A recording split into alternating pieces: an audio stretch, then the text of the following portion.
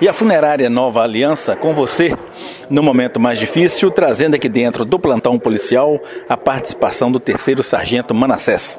Ele que pertence ao 58º Batalhão, presta serviço lá em Timóteo. E na tarde do domingo, uma tragédia, um homicídio consumado.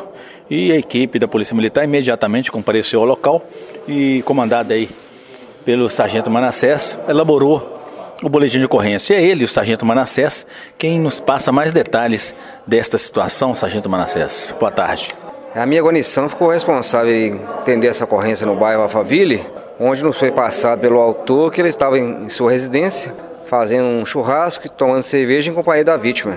Que em certo momento a vítima havia apresentado um surto e de posse de uma faca e uma corrente com cadeado, partiu em direção ao mesmo e ele alega que em, em atitude de defesa teria empurrado a vítima, que caiu ao solo e com a faca em mãos teria acertado o seu pescoço, vindo a óbito.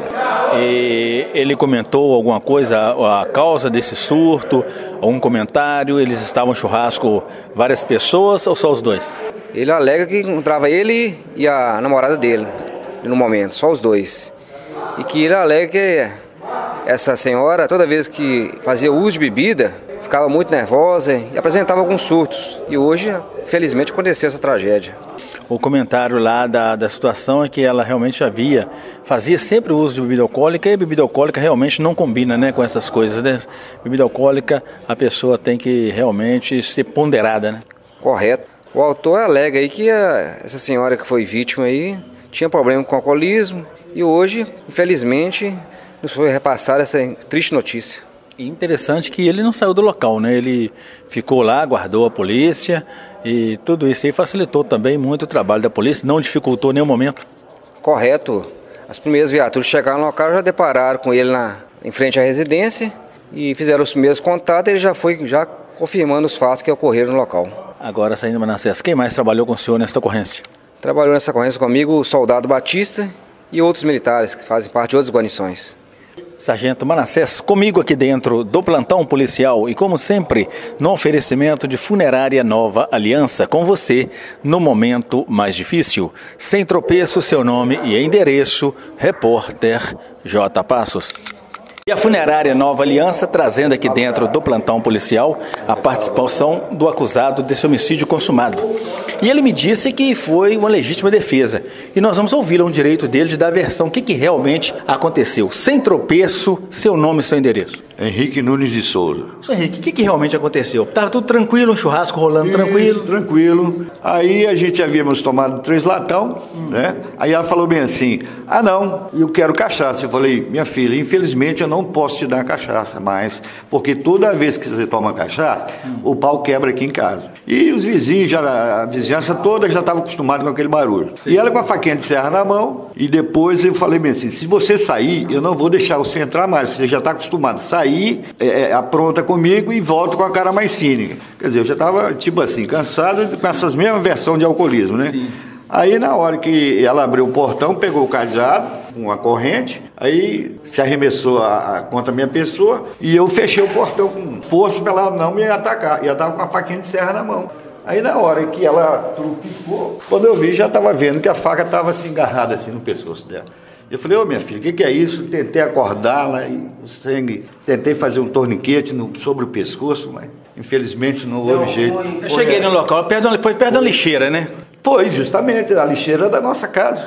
E o senhor não fugiu, ficou no não, local? De jeito nenhum, até achei que era alguma coisa simplesinha, porque uma faca de CA de cortar laranja talvez não fosse tão grave o, o, o, acidente que aconteceu sobre o pescoço dela. E vocês moram juntos ou são casados não, há quanto tempo? É, ela foi uma pessoa que eu encontrei na rua. Eu, eu trabalho com mototáxi, encontrei ela em frente da rodoviária do, do Fabriciano, onde eu trabalho, em frente da rodoviária. Aí eu vi ela lá pela primeira vez e eu falei, ô minha filha, o que você está fazendo na rua? Você é uma pessoa tão bacana, bonitinha e tal. Aí me leva para tua casa, eu quero ser tua casa e tomar um banho. Aí eu falei, vamos. Aí ela passou lá a primeira vez, passou uns 10 dias lá comigo. Depois surtou de novo, não, não vou ficar aqui não. E eu falei, ah, então vai, toca a sua vida.